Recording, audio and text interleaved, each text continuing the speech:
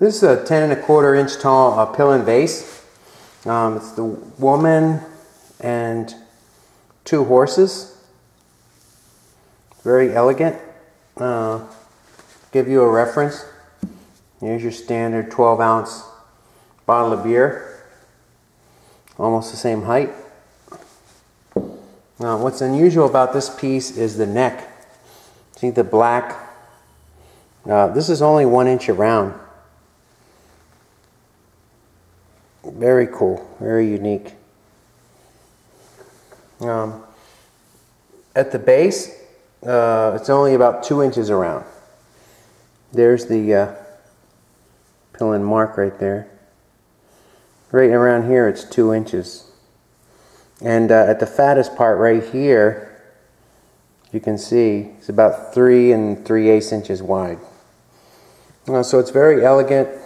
Um, there is a uh, there's a lot of crazing on this. I don't know if it was natural or it just happened over time.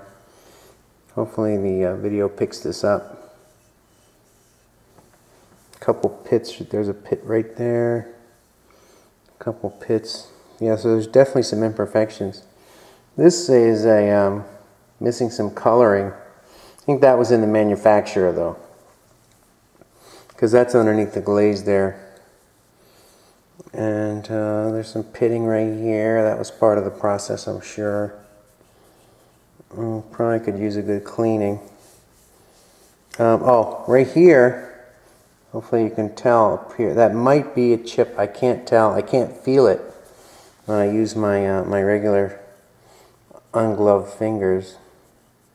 But I believe it might be a small, a very small chip. Um, so you Hopefully you can see that in the video.